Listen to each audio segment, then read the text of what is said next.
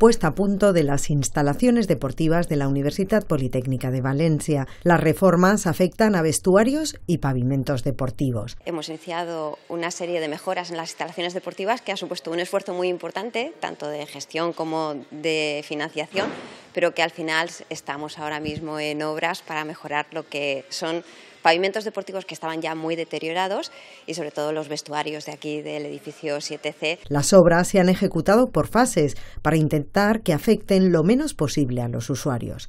En los vestuarios del pabellón deportivo de momento falta el agua caliente y los del edificio 7C presentan más complejidad, pero se espera que todo esté listo a mediados de febrero. Se está acometiendo el cambio de pavimentos de las pistas de pádel, de los frontones y del campo de césped artificial artificial de fútbol 7 y 11 que quedó inutilizado desde las obras del Boulevard en el 2011. Ahora por fin vamos a volver a tener un campo de fútbol 11 en la universidad y también estamos renovando los pavimentos de césped de artificial de, los, de las pistas de pádel, que también empezaban a tener calvas en las zonas de saque, y el suelo de los frontones. Unas obras que mejoran la calidad de las instalaciones deportivas universitarias. Se ha hecho un esfuerzo muy, muy grande por parte de infraestructuras y por parte del Servicio de Deportes en poner en marcha de nuevo las instalaciones en las condiciones óptimas para su uso.